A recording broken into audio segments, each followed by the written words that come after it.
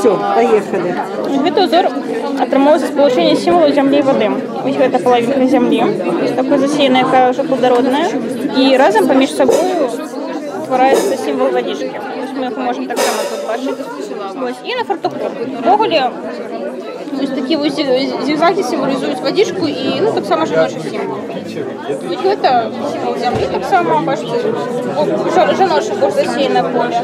І вось тут у меня на манжеце это соніка. На манжеце накрыцця сонца.